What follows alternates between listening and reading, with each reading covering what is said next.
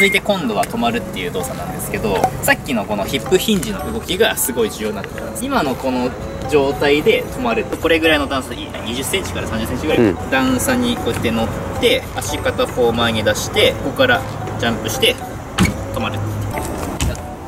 そうそうそう。今の合ってます？今のは膝の関節と股関節はピタッと止まれてるんですけど重心が前にいってるってかかと浮いてるんですよ。全体でバシッといくって感じそうそうそう。ヒップヒンジをまた置いた状態で再現するって感じなんで。あそうそうそう。あ難しい。めちゃくちゃ難しいと思うよ、ここで止まれないと走っても止まれないよねっていう、はい。はい、悪い例がここからなるほどなるほど。来た。来た。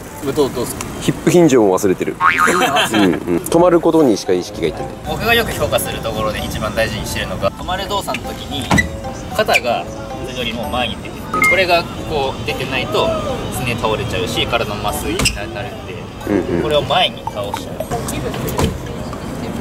難しい。走ってる時に結構なんか前ももが疲れちゃうとかいう選手はこういうヒップヒンジの動作をやってあげると走りでこうクッションがなくなるんでなるほどね。ピタピタピタって走れるんでぜひそういうのやってほしいです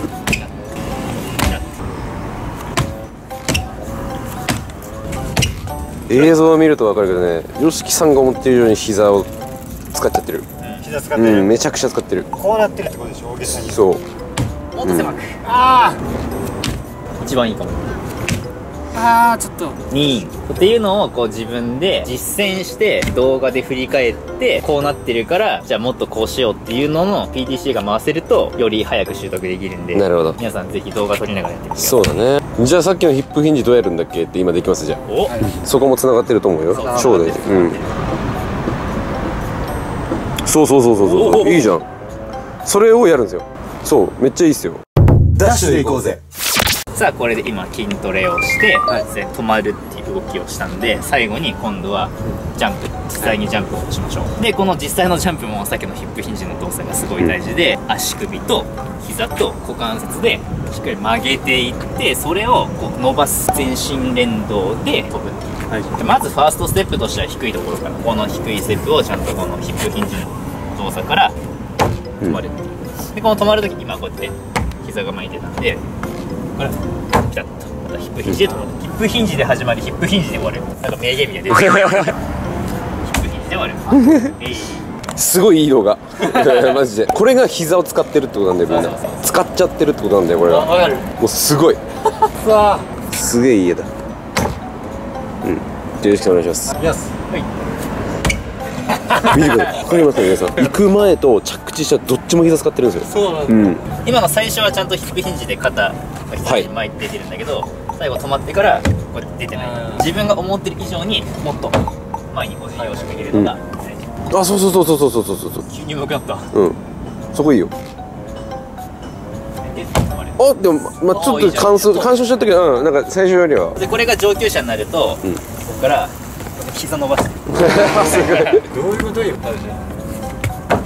すげえ、もう本当にこのそうそう。そう YOSHIKI さんが大好きな股関節伸展だよ。そうです今回難しいから言わなかったけどそう、ままさに股関節の屈曲伸展がすごい大事。うん、うん、そうそうそうそう。よくなってる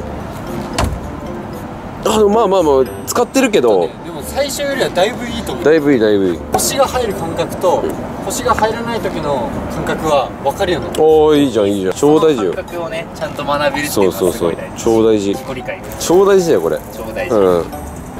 良さそう良さそう。およくなってきた。ちょっとね。最後の膝の干渉かな。うん。もう一切よしかああいうもの見てごらん。横で。一切曲がってないから。膝が。股関節オンオンリー。うわ言ってることね。めっちゃわかんない、うんうんうん、いやそれ分かるだけでも大超いいことだよ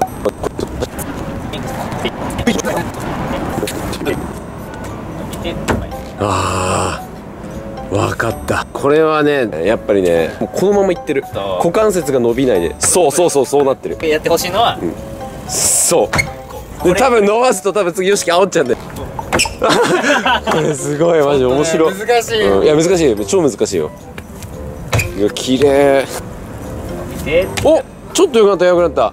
良くなったそれ違う違うそれ違う。イメージいやこれ視聴者のみんな分かってほしいな伸ばる。おお連動性はないけど伸ばそうとする意識はわかる。止まることができてない。そうそうそう。全部忘れそれ以外全部忘れちゃ1個を意識せず1個忘れてるうそうそうそう。うん。イェイ。以上。ダッシュで行こうぜこんな感じでね今ねジャンプのトレーニングこう1回の動作で終わったんですけどこれがこう連続でやる動作だったりとか今度前に飛んでみたりとかっていうのも、ジャンプの種類としてあるんでいろいろねそこを組み合わせて例えば前に飛ぶ種目だったらこう砂場とか用意して立ち幅跳びとかハードルジャンプとか根本に戻ると止まるっていう動作ができないとそういうハードルジャンプとかバンディングとかもそもそもできないからそこからまずは入るのがいいよっていうのをちょっと皆さんに伝えられたらと思うんで。逆に大げさな話あれできちゃうと全部やりやすくなるよね。そうやりやすくなるし記録もすごいうん、ありがとうございました、い、やすいい回だった。いやすごいいい回でしたね。うん。というわけでまた次回の動画で。お会いしましょう。お会いしましょう。はい。バイバイ。最後までご視聴ありがとうございました。それでは皆さんまたのご機会に。さようなら。ああこっちだ